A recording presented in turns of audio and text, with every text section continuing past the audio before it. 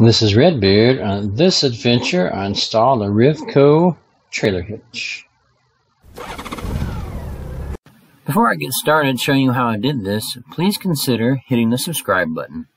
Looks like the uh, the first step is to remove the seat, covers, um, all that kind of stuff, and some bolts in here, and then also this rear fender. So time to get to work. Here I am with the first step done. Uh, so the seats removed, the covers, and then this gray piece, that fits right here. All that is removed, as well as the rear fender. And the next step is to remove some bolts in here. I think it's these bolts. And check stuff out. Yeah, I got these uh, uh, support brackets installed. On the other side, you do a little drilling, and uh, so the bolt can go all the way through and attaches to the hitch frame. And this one, you go ahead and torque it down, and then the uh,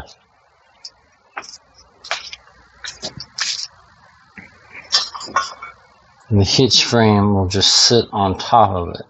So on this side, it screws into it. And on this side, it just sits on the bolt. Next step is to remove these bolts, one on that side, on this side. Alright, this is the one here on the left side. It took a lot to get, but there's a trick to it evidently. Now one of the tricks is you see these wires, I pulled all these over, tightened them closer out of the way. So this was already in there. The zip tie was already there. So I just reorganized that, and then there's this one that was with them. I got it out of the way to make a little bit more space. Now maybe you can find a way to keep it in there, but this gives it more space over here. Now there is a, a wire down there, uh, runs right across, and that seems to be the thing that stays in the way. Um, so what you do is you eventually realize that it is this wire here. And you pull it out of the way and then you can get you can get it up there. Let's see if we can yeah so there it is right through there and pulled back. It says pull it back far as you can so that's as far as it goes so hopefully, and I think I've heard that the other side is harder, but maybe learning these things, it won't be so bad for me. Um, but it does seem like the trick is this wire right here, getting it out of the way. Um, I tried putting it all kind of different places until I finally figured out it runs right back here. Pull out of the way. It's up over here, out of the way, and uh, it seems to be fine. So that should save you some hassle. Alright, it wasn't as hard to get this one in as the other one, but uh, this, I guess this is the subframe here, this black one here. Uh, I think it moved a little bit, so it made it kind of hard to get this bolt in there. But uh, you see, you got the wires routed.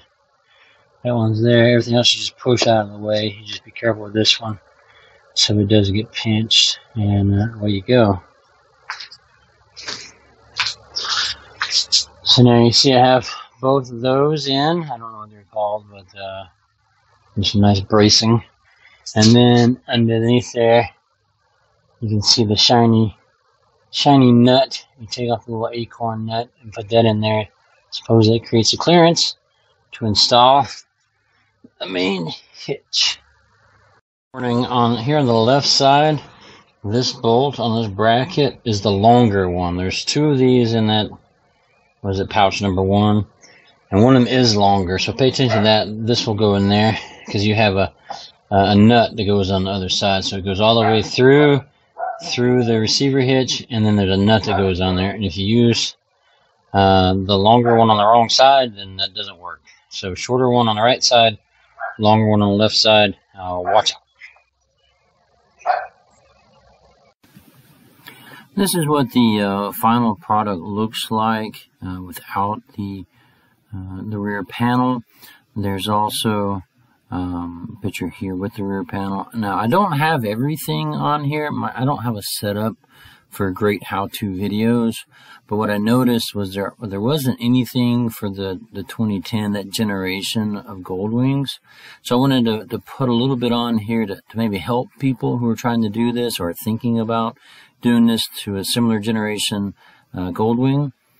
Uh, the instructions that came with were quite helpful. Like I said, I have a few tips in here that might help or, or highlight some of the instructions and that give you a little better idea. I also didn't take any pictures of me cutting into the plastic. That's always a, uh, nerve-wracking thing, uh, but it, it worked out really well. I didn't use the template, but I did measure uh, I just didn't want to destroy the instructions in case I needed them for something else because you cut them out. You can always make a copy and, and use it that way. Anyway, I hope this has been helpful. Uh, let me know in the comments if there was something else you'd like to see or something you'd like to know before you try a similar project. Well, until next time, this is Redbeard. See you on the road.